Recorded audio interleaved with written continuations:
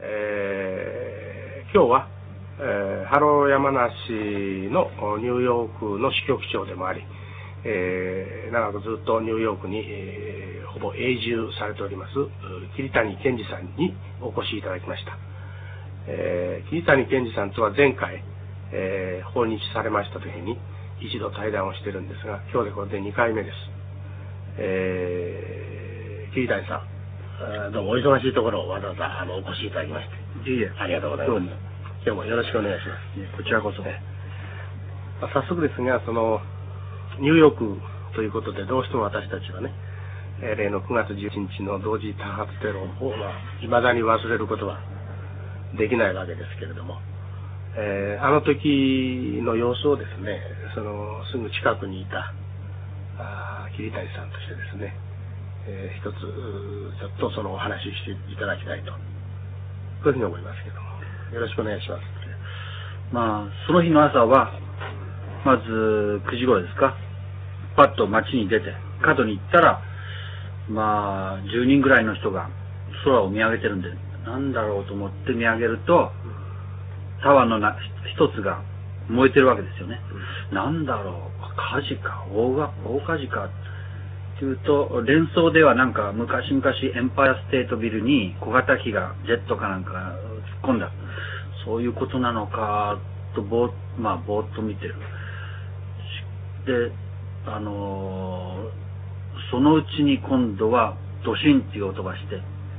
もう一つのタワーが。で、その瞬間に今度は、あの、大火災からやっぱりテロだっていう可能性に思考転換しなくちゃいけない。うん、でも、これはもう何、ゴジラ映画にしか起こんないようなことですから、うん、感情が納得しないまま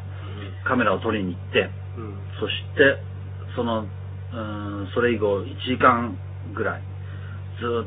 っと手あの手から離さないで、その、45分ぐらいかかりましたけど、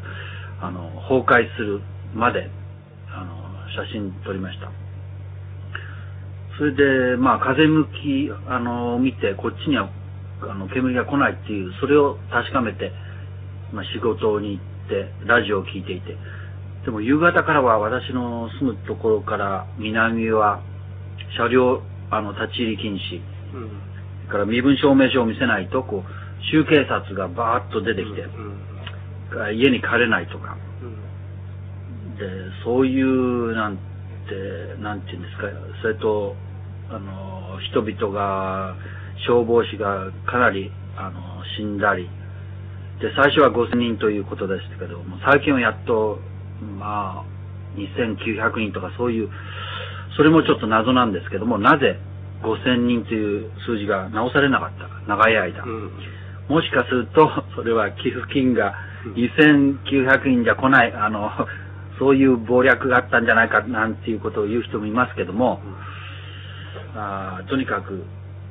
その後は悲哀と英雄物語と犠牲者の話と、いろんな奇跡的に助かったような話と、それと愛国帳というかもう正常期、そこら中、店、店には全部正常期。出さないとまるで非国民みたいな、うん、そういう雰囲気とか、うん、あとは皆さん、テレビとかラジオで、まあ知ってらっしゃると思うんですけども、うん、まあ、その影響っていうのはアメリカ人国民自身もまだ測りかねている。うん、なんかやっぱり社会変化、心理変化が起こってきて、あの、そう、そういう感じですね。まあ、あの、私たちのね、普通の、まあ、感情からしてもね、いつかは私が、えー、家族と一緒にニューヨーク行った時にね、あの、タワーを見たわけですよ。今度行っても見れないってことだから、寂しいなと。まあ、そういう感情あるし、まあ、やっぱりあれですね、ニューヨークの人たちが大きく、えー、未だにね、悲しみから立ち上がれない人も大勢いらっしゃる。と思いますけども、まあ、なんとか昔のね、えー、普段通りのニューヨークに早く戻ってくれればいいなと、まあ、いうふうに私は個人的には思いますけどもね。えー、まあ、そのことはまあ、とは別にですね、えー、アメリカの景気はどうなんでしょうか。あの、今年の春、もしくは夏ぐらいに、えー、また元に戻って成長路線に乗るんでしょうかね。うんまあ、人によって違いますけども、もうすでに11月頃でそこはついたという、そういう見方はあります。または、いやまだまだ、あの、低迷している。でも多分、あの、そこはついたんじゃないかと思いますけどね。うんうんうん、で、まあ日本の景気がね、あの、今大変な状況で、うん、一時はね、あの、少なくとも私が何年か前にニューヨークで桐谷さんと一杯飲んだ時はですね、立場逆でしたよ。日本はももはやアメリカに学ぶことはないと言ってね、ジャパンアズナンバーワンなんていう本がベストセラーでね、アメリカは荒れ放題に荒れてるみたいな雰囲気。それは全く、あの、いつ何がきっかけで、えー、なったか知らないけど、今や大逆転で。まあ、シロットのね、一あの市民として桐谷さん、この、両国の経済格差というのもね、経済の構造の格差が、どういうふうに感じます？うん、まあ僕も完全な素人ですから、うん、勘みたいなものしかない、うん、ありませんけども、うん、まあ日本は植民、植民地を持ってないみたいな。アメリカは未だに世界帝国ですから、で植民地というか、その、いろいろ天然資源から何から吸い上げる、あの、そういう構造になってますから、それは日本とアメリカ比べちゃか日本にとってかわいそうっていうか、あの、資源も少なくて、その、軍事力で抑えるような、あの、して、あの、貢ぎ物を捧げるような、そういう国は日本にはありませんから、かなり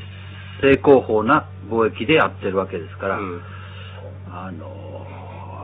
アメリカと比べたらかわいそう。そういう意味ではもう本当に日本は全力尽くしてやってるんで、ただ、アメリカっていうのはやっぱり、米国って米の国って未だに書きますけども、うん、もしかしたら利益国って書いた方がいいんじゃないかと思うぐらい、つまり利益っていうことを、あの、本当に進行してるっていうか、それに従って物が動いてる国だから、それ、その利益を生まないプロジェクトとか行動っていうのはもうどんどん潰れていく。それをはもう避けられないっていうか、その日本もそれをやっていかなくちゃいけない。あだから日本がいい国になるかどうかわからないけども、あの、改革して、その利益を生まないようなあの行動はどんどんできなくなってくるだろう。あの、まあ、あんまり光というか、あの、はあんまり見えませんけども、整理するとは整理しないと、現状維持もできなくなってくるっていうか、